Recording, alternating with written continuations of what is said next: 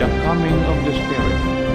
Heavenly Father, in John 13, 24, We do not want our dream to be blown away by that nightmare. The farmer must go out and sow, and his field. The Vatican announced the appointment of Archbishop Tito Yllana as the Apostolic Nuncio to Australia.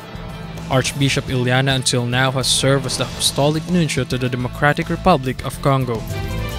Archbishop Yllana replaced Archbishop Paul Gallagher, who now serves at the Vatican Secretary for Relations with States. The Filipino prelate studied international diplomacy at the Pontifical Ecclesiastical Academy in Rome and was named to his first post in 2001 as the nuncio to Papua New Guinea.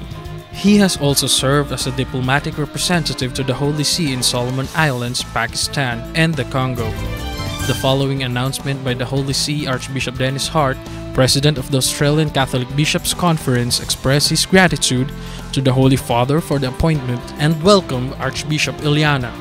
Archbishop Yllana brings wide and diverse experience, great faith, and priestly gifts. We assure him of a warm and enthusiastic welcome upon his arrival and service here in Australia, said in a statement.